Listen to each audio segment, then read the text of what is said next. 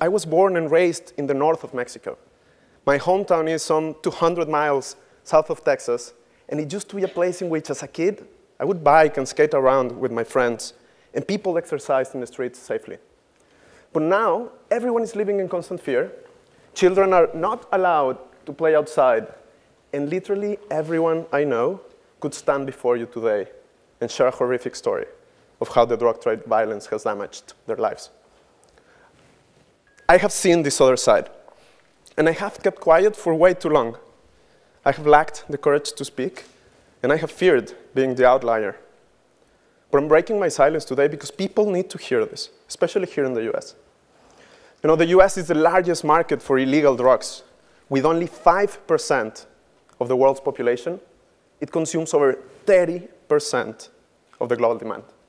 And what's really interesting is that the vast majority of the millions and millions of users are using the drugs for recreational purposes.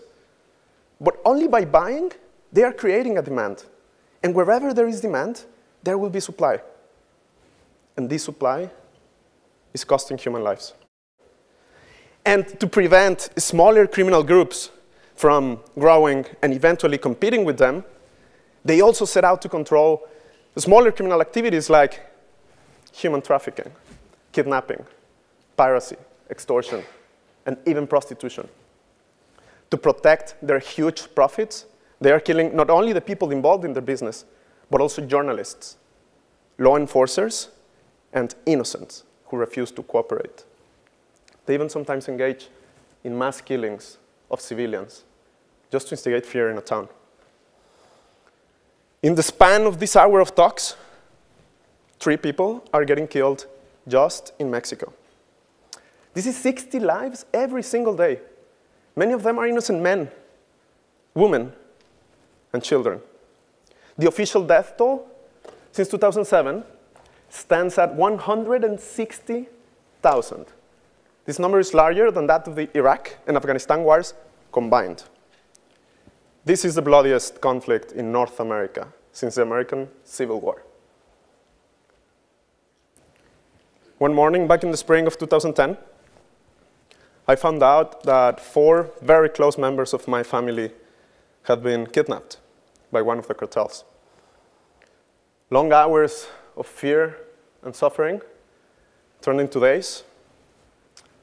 Days turned into weeks. We didn't know what was going on, and we still don't, because we never saw them again. The narcos disappeared them breaking my family apart. Around three years ago, Mari, a hardworking, lower-class woman who worked with me for over six years, realized that one of the cartels was recruiting young boys from her neighborhood by force. Being the mother of a 14-year-old boy, Mari panicked. So she took her whole family and they walked away. They ran away.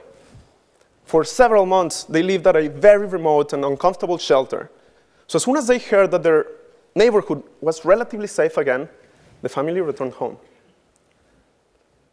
On the second night from their return, a group of armed men entered their house and killed her boy in front of her and her whole family, just in retaliation. So I stand before you today because I desperately need your help, and because I know that each one of us here could bring about a huge change. Think about this. Recreational users spend between $200 and $2,000 on illegal drugs every month. Just to give you a glimpse of what this money buys for the cartels, with $200, they can get 1,000 new rounds of ammunition. $500, a brand new AK-47 rifle. $700 pays the monthly cost of a full-time employee on their death squad.